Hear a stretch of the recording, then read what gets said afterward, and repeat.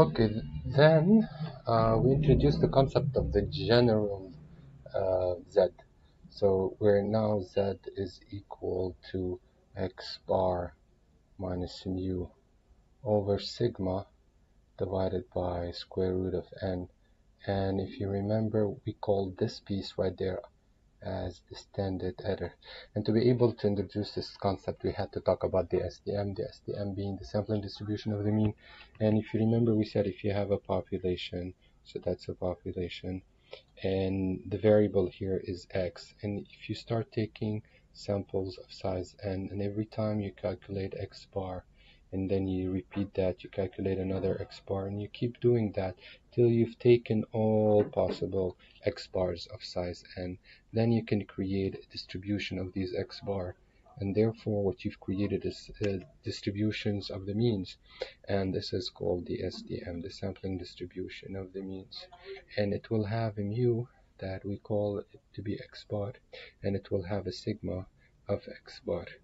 And then we said that it's going to turn out that this mu x bar is actually equal to mu, اللي هو this mu right here, and this sigma x bar is going to be equal to sigma over root square of n, and sigma is also sigma of that population. Then the third thing we said is that the distribution is going to be normal as long as x had a normal distribution okay? Now if x did not have a normal distribution then the sampling distribution of the mean will be normal as long as you meet the requirement of n greater than or equal to 25 and therefore this is uh, the uh, the central limit theorem. Alright and based on that we said well um, then uh, you would have multiple scenarios the first scenario is you're interested in only one observation. So you really want to calculate the probability of x between two values. Okay? And then you have two scenarios. Scenario number one, if x has a normal distribution, then you're fine. You can calculate that by um, by using the z that we covered, which is x minus mu over sigma. The second scenario, we said x does not have a normal distribution, and then here, for that class, we can't do anything, we just stop here. Okay, so that's if you're interested in calculating the probability of only one observation. Then the next thing um, is if you are actually interested in calculating um, if you're interested in calculating the probability of x bar. So it's no longer one observation, rather it's a sample. So if you're dealing with a sample, and um, again here you have two scenarios. Scenario number one is that this sample is coming from um, uh, from a population where x has a normal distribution and uh, of known mu and sigma.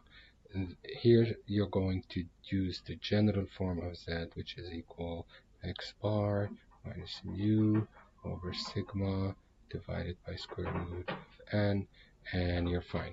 Whereas the second scenario, if uh, this sample is coming from a distribution where x does not have a normal distribution, then again you have two possibilities.